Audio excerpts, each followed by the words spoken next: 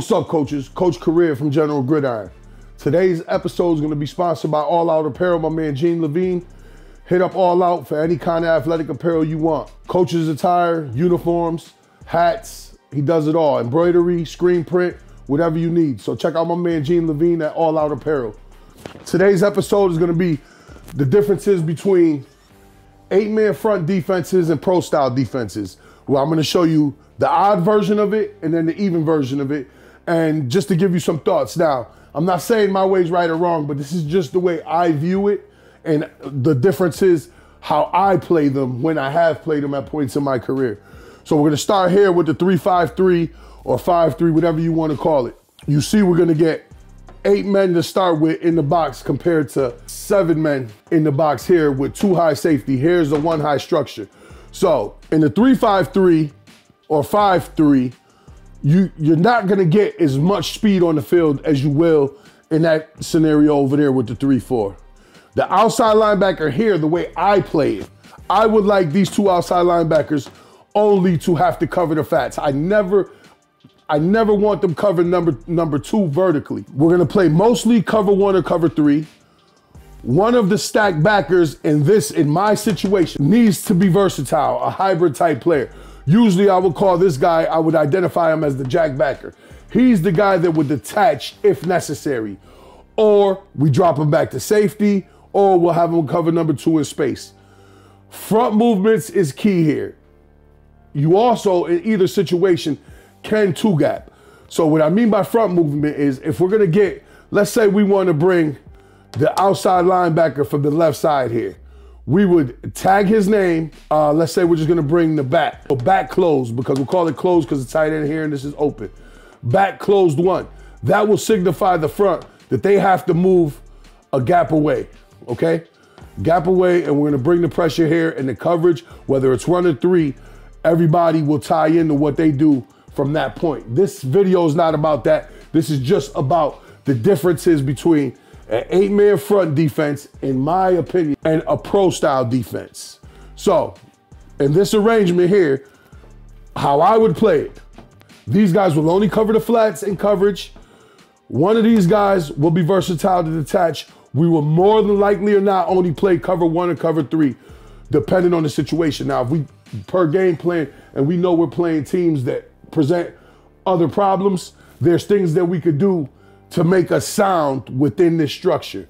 Here in the 3 4, we can get, in my opinion, once again, we can get more speed on the field. The outside linebackers have to be able to play the flat and the verticals. We got more coverage, more coverage situations that we can tag to this situation. You have to have more athletes on the field. That's an absolute because we're asking this guy, this guy, and this guy to be pretty versatile, plus these two safeties. The front movement is key as well. And in either situation, I forgot to mention here, we can play two gap, but that's a conversation for another day. Today, we're just going to talk about the movements and how this defense differs from this defense. Not which one is better, just how they are different. So, here, our Sam and the Will have to be able to play the flats, but they also have to be able to play the hooks if necessary, depending on the call. The buck backer is going to be the not the better, the, the more athletic of the two, because with in today's game with trips and doubles and all types of things, he may have to detach, and we always want this guy, the Mike. That's why I call him the Mike. He's always going to play the back door, meaning if the ball's going away, we want him playing AA to B type deal, playing the black door chasing things from the backside, making things happen from the backside. This guy got to be a bigger, more physical player and more versatile. Okay, so the main difference is here. The Sam and the Will here have to be able to play the flats. They also have to be able to play the hook, the curl area. The buck needs to be detached. The strong safety needs to be a versatile player as well. Because if we're getting a hard run team and we have to move them up, we could get to an eight man defense by bringing the safety up playing them outside of the Sam, depending on where the threats are, we could bring him up, play him closer to the line of scrimmage where we give him an easy read of number two. If he blocks down, you come up and support right now. Period. So that's how you get to the eight man by how you play him. Now, we could spin these safeties, or if they wanted to motion us and bring the strength the other way, he could play it that way as well. But this guy's usually not more physical. So me, how we do it per game plan for the week, we will always flip the strong safety to the strength. Now, again, the odd front is based on movement. When you're playing odd defense, the way I would play it is we want to play it based on slant and angling. That's the correct term for it, slant and angling. I wouldn't play two gapping as much because we got speed on the field and let's use that to our advantage.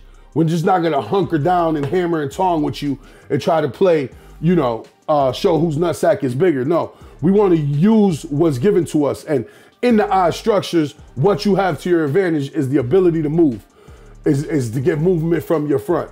So if we wanted to bring, let's say the will now from the weak side, we want to bring the will. That is the cue for the front to move a gap away, a gap away, and then everybody gets their coverage or run fit according based on the call. That's, you know, that's sort of like how we play offense. Odd structure defenses are very much rule based. That is uh, mainly the difference between odd structures and even structures, in my opinion. Odd structures are more scheme oriented because we have to get to these calls. Let's say we want to get to a four man stuff. We got to say, Will, three. Will, three is going to tell the Will he's coming, they're moving away, and everybody will get their coverage according. Okay, so in Will, three situation, Will's coming. We got free safety to go to the middle of the field. We got a hook the curl player. I mean, we got a curl the flat player, a hold the curl player, a hook to curl player, and a and a curl the flat player in the strong safety. So that would draw up something like this, so you guys get the picture. Will's coming. He's gonna move. He'll stem stem away. Okay. We got the hold to hook player. We got a curl to flat player who's got extended to flat.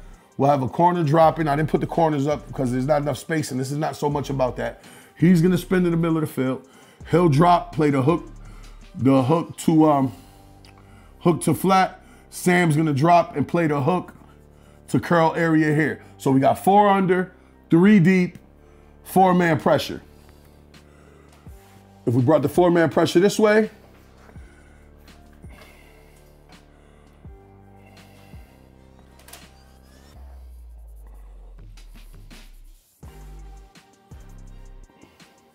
It'll be more like that, more like that. And there's your three deep, okay? So just simply, that's a four-man pressures out of odd structure, playing cover three in both situations, just to give you an idea. If you play cover one, you just match them up, who's got who man to man, and go from there. We teach in the Coach Correa way of doing things, we teach cover one, cover three, basically is the same general principle. Like I said, this video is not about that. That's a topic for another day. I will get to it. So that's how you get to the pressures and movements out of a four-man pressure from an eight-man box or the pro style odd front defense. Now, I just wanted to show you a five-man pressure so you get the gist of what, what we're doing.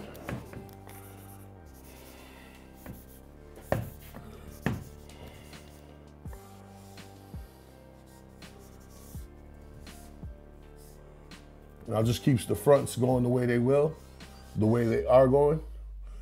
And actually, we'll get a little creative. Okay, if we wanted to get a five-man situation, cover one or cover three, um, let's go, let's go Zoo Strong. Now, because we're gonna bring this pressure from the middle, that's automatically, and this is all built into the structure. That's telling the two head up four technique tackles that they are going to play C gap because we're going to bring five. We're going to bring two inside here to the strength. Now, in that situation, if it's cover one, there and there's two backs in the backfield, they're responsible for anything coming out into the flat. So they got flats if it's cover one. Okay? If we play cover three, and I don't like doing it, but you may have to in this situation. Here is your skiff players. They'd have to drop, and he'd come to the hole. So there's your three under, three deep scenario. Okay?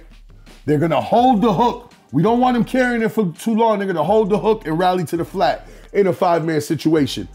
In an eight-man front odd defense. In the pro style defense, if we want to bring five, we're gonna let's just say we're gonna go what I call stab. He's gonna come. Stab means we're gonna get a long stick here. He's gonna move away. He's gonna move away, and we're gonna punch the B guy with the the buck. Sam's got to drop the play. The hook, the curl of his, he's gonna skiff, seam curl flat, we call that. We got a hole player. We got a seam curl flat player here. So you got three deep. Let's just say the corner's over here. Free safety spins, corner here. So that's how you get to a five-man pressure in the odd. Once again, it's very scheme related and call related. It takes um, takes some time to understand. Everybody has to be on the same page. Communication has to be at an all-time high. So that's the difference between an eight-man odd structure defense versus a pro-style odd structure defense. Until the next time, Coach Correa, General Gridiron.